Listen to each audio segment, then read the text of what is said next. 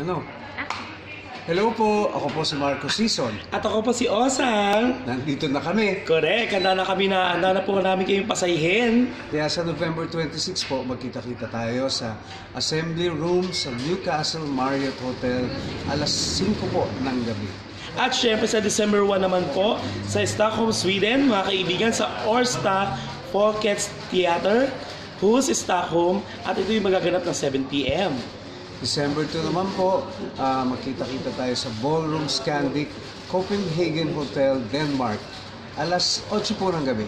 Yes, at syempre sa December 3 mga kaibigan, sa Dublin, Ireland, magkakaroon po kami ng show sa National Boxing Arena sa ringside.